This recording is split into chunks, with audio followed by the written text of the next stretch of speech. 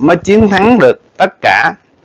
Thì mình nhìn cũng mình nhìn cũng thấy nè từ uh, con voi bây giờ sắp thua rồi nghe.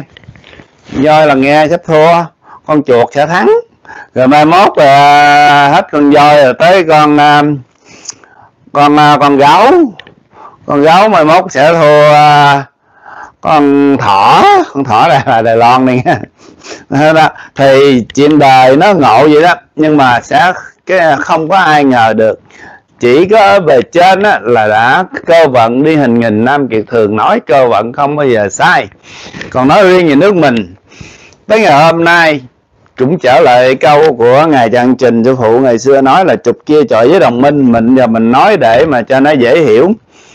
Bây giờ là đậu trắng ra đậu trắng đậu đen ra đậu đen phải lựa ra hai bên cả mấy ngày nay ở bên mình cũng đang lựa đậu á. À, lưỡng cực. Rồi sau đó mới à, cái gì tứ tượng rồi à, bát quái gì đó. Đó nó sẽ có mấy cái đó. Tất cả đều là cơ vận hết. Không có ai cãi được bề trên hết. Cũng không có ai mà kéo tay hoài với trên nữa tại trên thương mình không có muốn cho một hàng người lì lợm mà lại cả đống người phải à, chết quan theo. Cho nên à, mọi cách phải xoay chuyển chậm chậm lại. Thì cơ vận nó có đi chậm lại một chút nhưng mà rất là màu nhiệm rất là hữu hiệu. Mọi người nào tin cha tin mẹ tin phật tin chúa thì người đó được cứu của cái thời kỳ này. Thuyền bát nhã là đây. Thuyền bát nhã là cái dấu này đây. Cái dấu thiên tâm là cái thuyền bát nhã của cái thời đại cha cho. Nhập đạo một cách rất là dễ dàng. Đọc kinh phật lăng nghiêm thập chú ngồi thiền. À, mỗi ngày mình bị covid hay là hiện giờ sài gòn đang không còn náo nhiệt như xưa không có việc làm.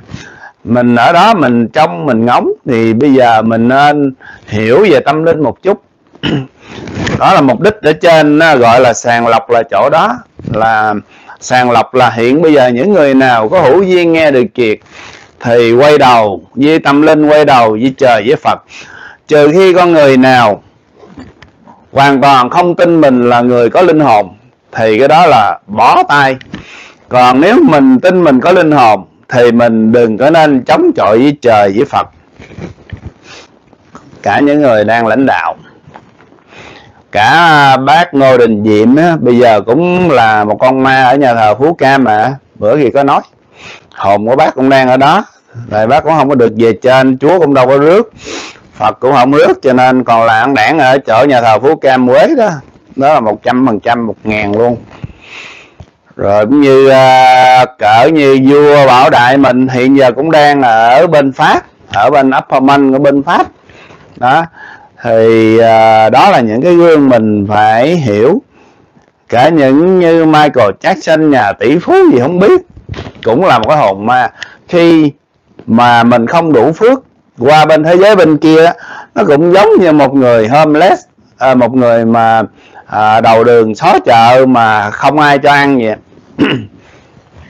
Rồi lúc đó nhìn lại vợ con mình lấy tiền lấy bạc của mình cho những người tình nhân rồi đó. Lúc đó mình còn sôi máu lên nữa. Mình càng nóng mình càng bị đỏ sâu nữa. Chết. Cái linh hồn về đâu mới quan trọng? Chứ không phải là à, lúc mình sống mình có quy quyền mình có tiền mình ăn hiếp những người thờ à, đơn à, coi à, yếu thế nghèo túng mà mình không biết giúp đỡ. Cái đó là là tội nặng lắm thời nay tất cả mọi con người chúng ta chưa có bao giờ trong lịch sử mình tính lại. Trước khi ngày dịch Vũ Hán ra đời năm 2019 gọi là Covid uh, Covid 19 đó tức là China uh, uh, virus năm 2019 đó là chữ Covid viết như vậy. Thì trước khi đó có ai bao giờ ngờ được nước Liên Xô một nước cường à, cường quốc chế tạo vũ khí rất là tối tân. Mà hôm nay lại thê thảm mà bây giờ người ta mới biết là nó yếu xìu. Đánh 24 tiếng đồng hồ cái gì mà đánh bữa giờ là ba bốn tháng. Sắp sửa đầu hàng nữa kìa.